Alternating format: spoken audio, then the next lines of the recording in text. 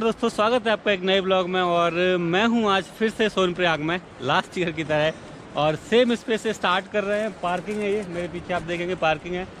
आज हालाँकि दो दिन है अभी यात्रा में, आज ट्वेंटी थर्ड है और जो पट खुलेंगे, वो खुलेंगे ट्वेंटी फिफ्थ को। हम दो दिन पहले ही जा रहे हैं क्योंकि हमें सब कुछ अच्छे से देखना है, अच्छे से आप लोगों के लिए सूट करना है और समझाना भी है कि कैसे जाना चाहिए क्या क्या परेशानियाँ आएँगी क्या क्या सावधानियाँ बरतनी चाहिए और टिप्स वगैरह क्या हैं। तो चलते हैं यहाँ से टैक्सी लेने के लिए, सोनप्रयाग मार्केट में। वहाँ से टैक्सी मिलेगी और फिर जाएँगे हम चलो जी, गाड़ी मिल गई है हमें पार्किंग से ही और ऑलरेडी रेडी खड़ी हुई थी। हम बस बैठ के जा ही रहे हैं यहाँ से। ओके दोस्तों तो ना टाइम हो रहा है अभी, नौ बज के बीस मिनट और हम पहुँच चुके हैं गौरी कुंड थोड़ा सा यहाँ पर मुझे भीड़ भाड़ सी दिख रही है। हालाँकि इसमें मोस्टली लोग वो हैं जिनके खच्चर वगैरह या गाड़ी हैं। श्रद्धालु भी आ रहे हैं, जैसे आप पीछे देख रहे हैं बट उतने ज़्यादा नहीं हैं। तो स्टार्ट करते हैं। टाइम नौ अठारह हो रहा है एग्जैक्टली तो गौरी कुंड से स्टार्ट करते हैं हम। दोस्तों, यहाँ आप दर्शन कर रहे हैं बाबा केदारनाथ की डोली के और ये यहाँ पर इसलिए क्योंकि हमें आज ऊपर जाने नहीं दिया गया क्योंकि ऊपर बहुत हालत ख़राब है बर्फ़ की वजह से और होटल्स वगैरह रेडी नहीं है। होटल्स वालों को जाने दे रहे हैं क्योंकि उनको रेडी करना है कल के लिए। तो कल जाने देंगे, वो भी डोली के साथ ही जाने देंगे। सुबह सुबह निकलना पड़ेगा हमें डोली के साथ या फिर उससे पहले जिससे कि प्रशासन रोके ना रास्ते में। तो अभी हमने यहीं पर होटल ले लिया है, गौरीकुंड में, और यहीं स्टे करने वाले हैं। तो शाम के टाइम तक पूरा टाइम ये देख रहे हैं आप मंदिर में कितनी भयंकर भीड़ हो रखी है। तो यहीं मंदिर पर रुकने वाले हैं और भजन कीर्तन चल रहे हैं। बाबा की डोली के दर्शन हो गए बहुत अच्छे से, और यहीं टाइम स्पेंड करेंगे। और सुबह सुबह अर्ली मॉर्निंग निकलेंगे ऊपर के लिए।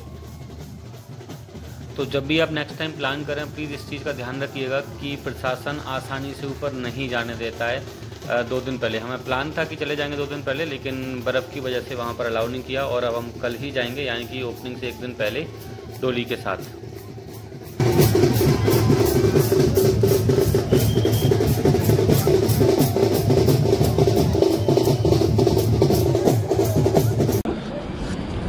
गुड मॉर्निंग दोस्तों, निकल चुके हैं अभी गौरी कुंड से और टाइम हो रहा है अभी छः बज के बीस मिनट और अभी से ही आप देखेंगे गजब सी भीड़ है। साढ़े छः भी नहीं बजे हैं, अभी छः बज के even exactly twenty three minutes हो रहे हैं और हमें कभी दस मिनट हुए निकले हुए। तभी भी लेकिन बहुत ही लंबी भीड़ लगी हुई है और कुछ लोग जो हमारे साथ वाले थे, कुछ हमारे साथ में थे एक्चुअली जो होटल में रुके थे, वो साढ़े पाँच भी निकल गए। तो आज जाने दे रहे हैं आसानी से, कोई रोका नहीं पुलिस वालों ने। इसके बाद डोली आएगी आठ बजे के आसपास। जब तक हम रास्ते में कहीं मिलेंगे, क्योंकि इस तरह से चलते रहेंगे तो बड़ा ही स्लो चलना पड़ेगा। दोस्तों, पहुँच गए हैं अभी भीमबली। यहाँ पर लगा हुआ बैनर, डोली आने वाली है क्योंकि। और शॉप से यहाँ पर, जहाँ पर आप स्नैक्स वगैरह कुछ ले सकते हैं स्टे कर सकते हैं थोड़ा देर। ये है भगवान भीम का मंदिर पर लिखा हुआ कौन केदारनाथ जी के मंदिर का निर्माण भीमसेन ने किया था। इसके दर्शन मात्र से ही पुण्य प्राप्ति होती है। तो यहाँ आप भगवान भीम के दर्शन कर सकते हैं। जय भीम बली महाराज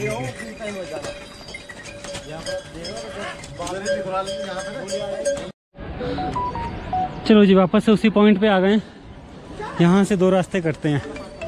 ये भीमबली से थोड़ा आगे आते हैं, उसके बाद मिलता है। और ये थोड़ा सा प्लेन टाइप का रास्ता है बट करीब डेढ़ किलोमीटर एक्स्ट्रा चलना पड़ता है इससे। मोस्टली इस पर घोड़े जाते हैं, जिससे कि घोड़ों को दिक्कत ना हो। आप देखेंगे प्लेन प्लेन सा है, आसानी से। ऊपर चढ़ सकते हैं। ये थोड़ा सा हाइट पकड़ता है और पैदल यात्रियों के लिए है। इसमें डेढ़ किलोमीटर कम है पर थोड़ा सा डिफ़िकल्ट है। तो हम इसी से ही जा रहे हैं क्योंकि डेढ़ किलोमीटर काफ़ी डिफरेंस क्रिएट कर देता है। थोड़ी सी हार्ड है चढ़ाई बट कोई बात नहीं।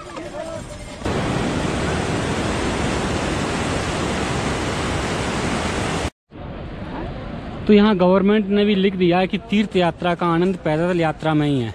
इसका मतलब है घोड़े ज़्यादा यूज़ ना करें। जब आप बहुत ही नहीं चल पाते, कोई आपको बीमारी है तो ही आप घोड़ों का यूज़ करें। अदरवाइज़ पैदल यात्रा में ही मज़ा है। ऐसे नज़ारों को देखते हुए। तो हम आ गए हैं करीब रामबाड़ा पर, और शॉप्स हैं यहाँ काफ़ी सारी। आधे के आसपास रास्ता हो चुका है क्लियर और टाइम हो रहा है साढ़े नौ। यानी कि हमने तीन घंटे में करीब सात किलोमीटर क्रॉस किया है। दोस्तों, ये है पहला ग्लेशियर जो कि हमें रास्ते में मिलेगा। पिछले साल थोड़ा सा था, इस बार देखिए बहुत ही ज़बरदस्त है।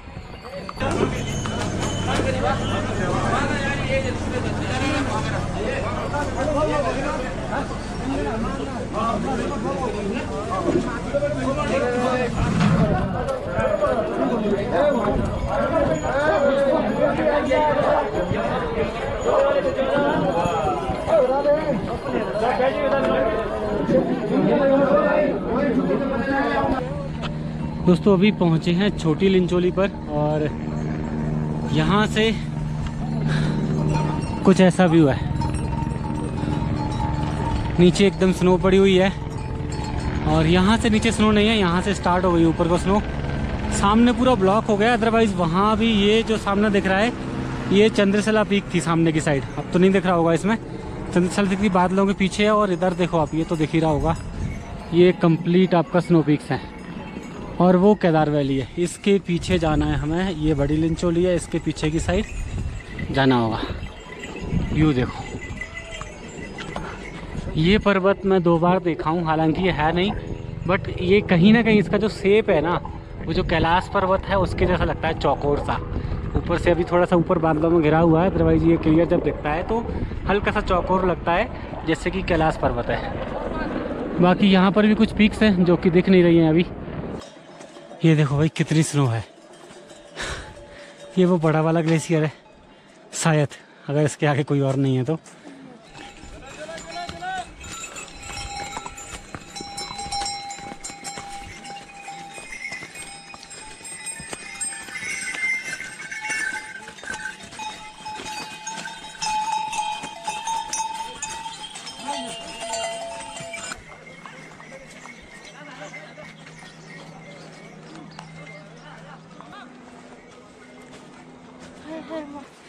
दोस्तों, अभी आ गए हैं ऑलमोस्ट बेस कैंप और यहाँ हो रहा है स्नोफॉल शायद आपको गोप्रो में ना दिखे बट हो रहा है।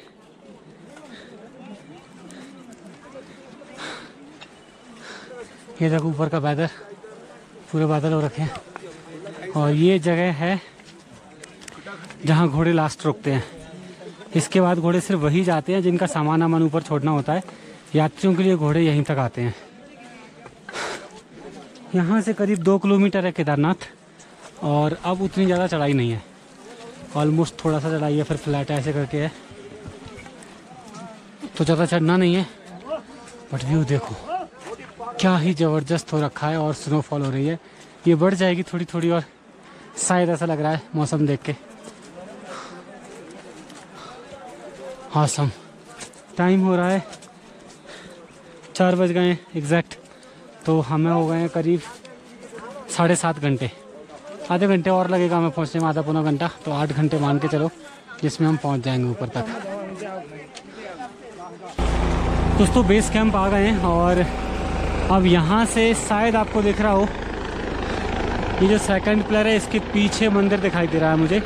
शायद आपको नहीं दिख रहा होगा क्योंकि वेदर थोड़ा सा वाइट हो रखा है पीछे पूरा। तो सिर्फ़ यहाँ से एक से डेढ़ किलोमीटर होगा मोस्टली और पूरी अब ढलान है। हल्का सा कहीं आप हो तो आप हो।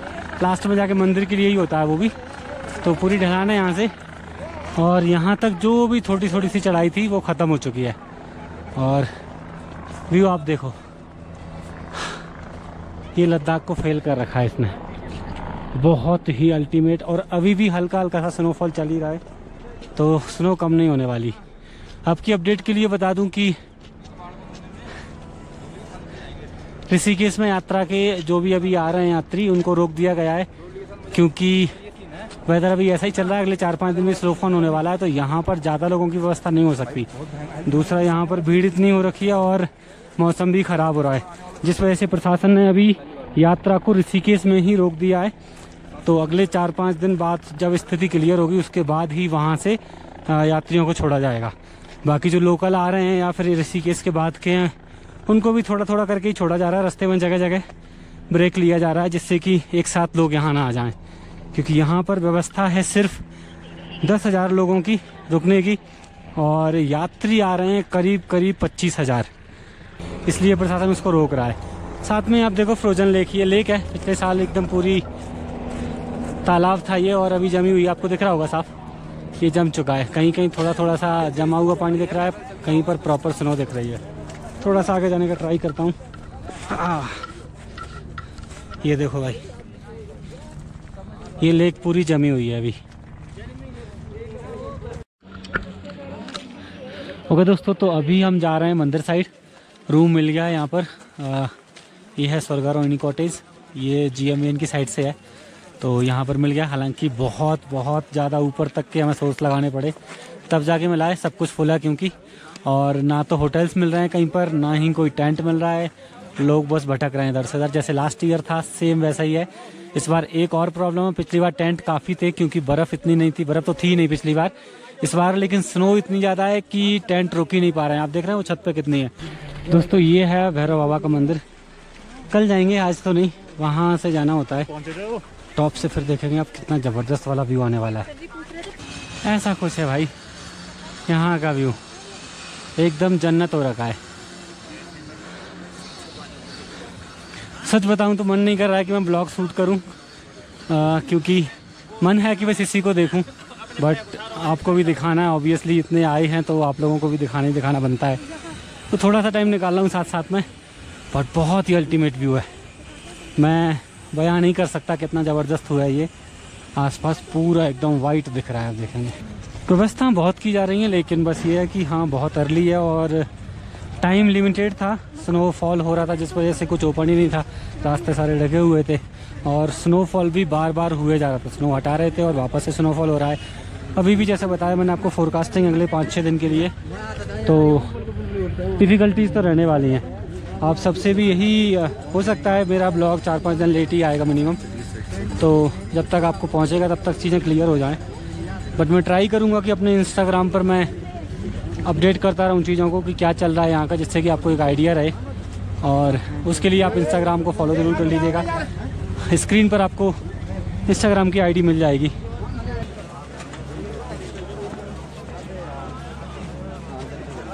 और देख लिया वो चला भी गया ना। पता लगा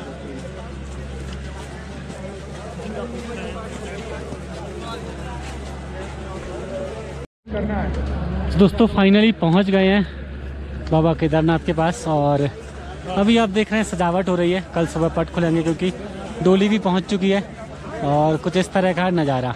आप देख सकते हैं, प्रांगण में भी स्नो थी जो कि हटाई जा रही है और ये बनाई जा रही है लाइंस के लिए, यहाँ से क्यों लगेंगी। तो लाइन तो बढ़िया से होने वाली है। पिछली बार बहुत प्रॉब्लम्स हुई थी क्योंकि शायद प्रशासन ने इस बार पहले से ही उसकी तैयारी कर रखी है और अच्छे से बना रहा है। ये आप देख रहे हैं, यहाँ पर एक द्वार बनाया जा रहा है और वहाँ पर भी काफ़ी सारे फूल पड़े हुए हैं। अच्छी खासी फौज लगी हुई है, जिससे कि कोई उधर जाए ना, परेशान ना हो लोग। और दूर से ही हम अभी शूट कर सकते हैं। बहुत ही अल्टीमेट लेकिन मैं क्या बयां भी नहीं कर सकता चीज़ों को। इतना अच्छा लग रहा है। ओके गुड मॉर्निंग दोस्तों। तो उठ गए टाइम हो रहा है अभी पाँच बज तीन बज के पचास मिनट और अब यहाँ से निकल रहे हैं मंदिर के लिए, फटाफट से लाइन में लगना है। दस मिनट लग जाएँगे पहुँचने पहुँचने में तो चार बज जाएँगे ऑलमोस्ट ठंडा काफ़ी हो रखा है माइनस थ्री डिग्री ऐसा कुछ अभी कैमियन से कुछ दिखेगा तो है नहीं बट लाइट्स चल रही हैं तो कुछ दिख रहा है थोड़ा बहुत। कोई चहल पहल नहीं है बट हमें फटाफट से लाइन में लगना है, जिससे कि दर्शन जल्दी हो पाए। चलिए चलते हैं मंदिर की ओर। दोस्तों टाइम हो रहा है चार पंद्रह और हम आ गए हैं लाइन में। आप देख सकते हैं, दरबार एकदम सज चुका है। सिक्स ट्वेंटी का टाइमिंग है जब कपाट खुल रहे हैं। हालाँकि थोड़े से लेट खोलते हैं क्योंकि उससे पहले वीआईपी एंट्रीज होती है साइड से। या पट खोल भी देते हैं तो एंट्री नहीं मिलती है बाकी लोगों को। तो ये तैयारी है और क्यों आप देख सकते हैं कितनी लंबी ऑलरेडी लग चुकी है। जी सर जी सर। वहाँ पीछे तक अभी लाइन लग चुकी है ऑलरेडी ओके दोस्तों टाइम हो रहा है पाँच बज के बीस मिनट और थोड़ा सा उजाला आ गया अब आप पीछे का व्यू देखो। जो कल से छुपा हुआ था, बादलों की वजह से अब एकदम ओपन हो चुका है। लाइन वहीं की वहीं है जहाँ हम खड़े हुए थे। अभी कुछ भी आगे नहीं बढ़ी है, क्योंकि कपाट खुलेंगे उसके बाद ही कुछ आगे होगा। एक घंटे बाद छः बीस का टाइम है कपाट खुलने का। बाकी क्यूज़ अब पता नहीं आगे कितनी लग गई होगी, जा भी नहीं सकते देखने के लिए। बट ये व्यू देख के सब कुछ वसूल है।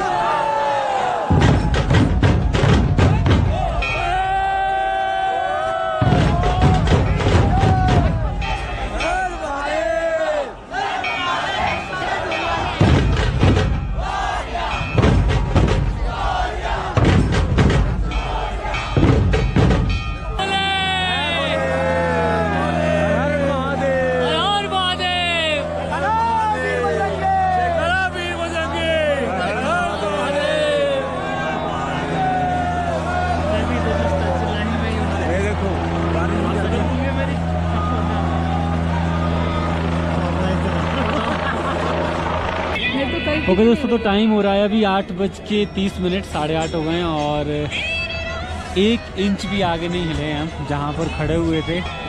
एग्जैक्टली वही हैं और हालत ऑलमोस्ट वैसे ही हो गए जैसे कि लास्ट ईयर थे। देख सकते हैं, सारी की सारी पब्लिक वहाँ पहुँच गई है वी आ रहे हैं और वी वो आप देख रहे हैं हेलीकॉप्टर उड़ गया कोई वी आए होंगे, वो आएँगे, पीछे के गेट से दर्शन करेंगे, उसके लिए सबको रोक रखा है।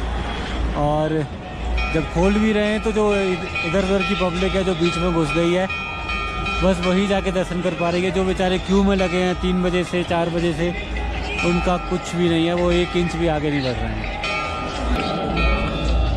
तो करीब पाँच घंटे हो चुके हैं लाइन में, लेकिन कोई भी अंतर नहीं है, सिर्फ़ खड़े हुए हैं।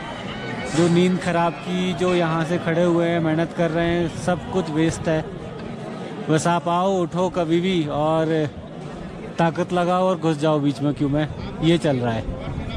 देखते हैं वेट करते हैं, कितनी देर और लगेगी। जाएँगे तो क्यों से ही और इस बार, पिछली बार की तरह वापस नहीं जाएँगे। इस बार दर्शन करेंगे, चाहे कुछ भी होता रहे। दोस्तों, ऐसा कुछ चल रहा है सामने और कहीं से भी, जहाँ से मन आ रहा है, आप देख सकते हैं किस तरीके से कोई भी जा रहा है। अब इस साइड से, सामने की साइड से उन्होंने ओपन कर दिया है। यहाँ से जो सामने खड़े हुए थे लोग अब सामने से लाइन ले रहे हैं। इधर वाले तो रेलिंग ही तोड़े जा रहे हैं बस। यहाँ बहुत लोग इकट्ठे हुए, कोई क्यू मेंटेन नहीं हुई है। वापस से वैसे ही हो गया और सामने से एंट्री चल रही है। वो भी उल्टी सीधी कुछ भी हाँ दोस्तों, अंदर की साइड आया हूँ। थोड़ा देखते हैं एक बार क्या चल रहा है। प्रगति लाइन में ही है अभी और एक बार समझने के लिए चीज़ें, थोड़ा अंदर आया हूँ। कुछ भी करते हैं आप लोगों के लिए।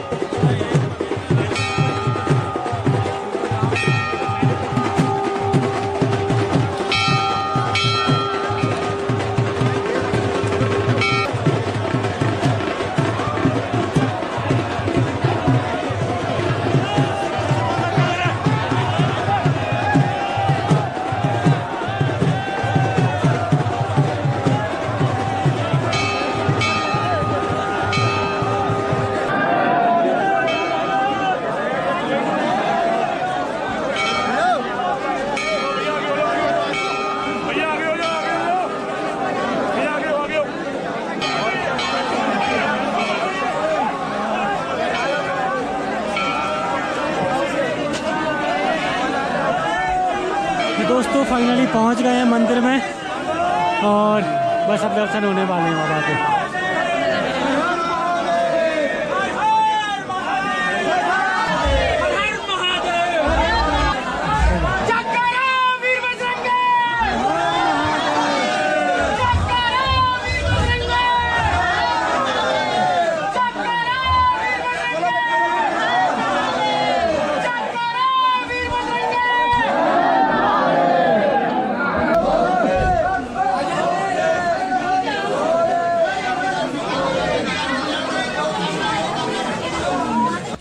ओके okay तो टाइम हो रहा है एक बज के पचास मिनट और हम रिटर्न निकल चुके हैं यहाँ से चेकआउट कर दिया है। आ, वेदर वापस से वैसे ही हो गया है। पूरा धुंध हो रखा है। धुंध नहीं बादल हैं एक्चुअली हल्के हल्के से बहुत ही महीन स्नोफ्लैक्स से हैं। तो ऐसे ही कुछ मौसम चल रहा है लगातार। कभी भी स्नो गिर सकती है ऐसा कुछ चल रहा है और हल्का फुल्का गिर भी रहा है। वेदर के चक्कर में हेली सर्विस भी रुक गई है। अभी कोई भी हेलीकॉप्टर वगैरह नहीं फ्लाई हो रहा है। तो जब भी आप प्लान करते हैं तो मेक श्योर sure कि आपके प्लान में ये भी रहे कि यहाँ पर हेली हेलीकॉप्टर ऐसा नहीं है कि आपने बुक करा दिया। तो वो स्लॉट में उड़ना ही उड़ना है। कई बार वेदर के चक्कर में उसको कैंसिल भी कर देते हैं। कई बार आपका ऊपर आना कैंसिल हो सकता है, हो सकता है आपका नीचे जाना भी कैंसिल हो। मान लीजिए सुबह आप ऊपर आ रहे हैं वेदर ठीक है तो आप ऊपर आ जाएँगे और नीचे जा रहे हैं वेदर ख़राब हो गया तो कैंसिल हो जाएगा। फिर आपको या तो स्टे करना पड़ेगा, या फिर आपको पैदल या घोड़े वगैरह से जाना पड़ेगा। तो ये है हेलीपैड हेलीपैड। यहाँ पर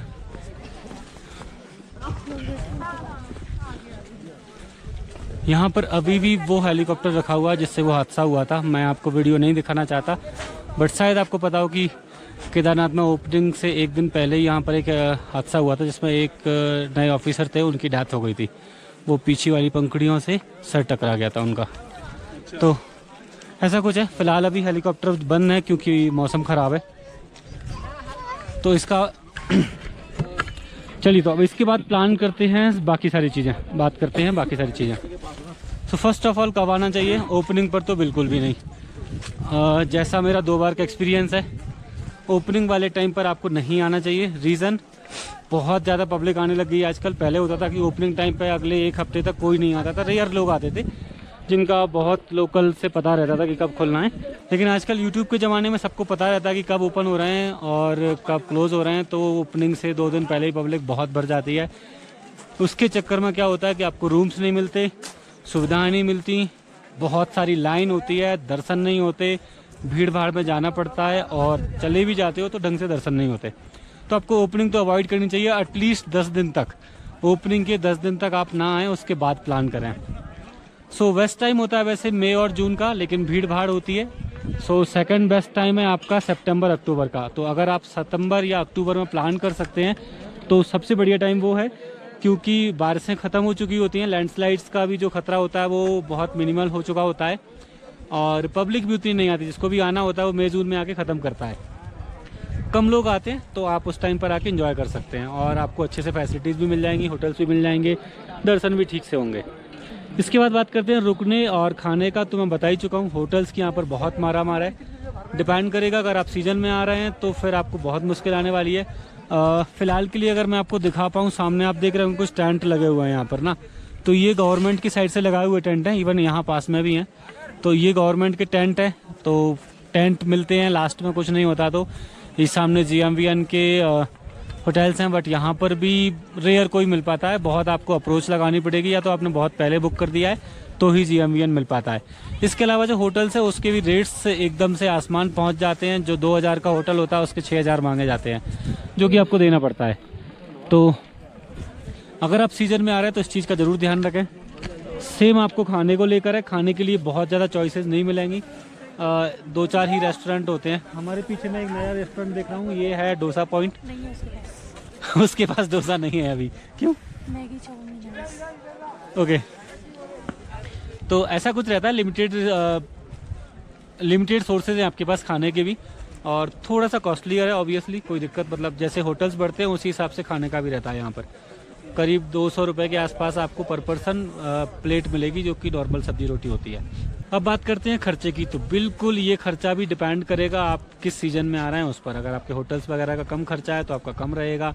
आप कैसे आ रहे हैं उस पर भी डिपेंड करता है। हालाँकि अगला पॉइंट है हमारा।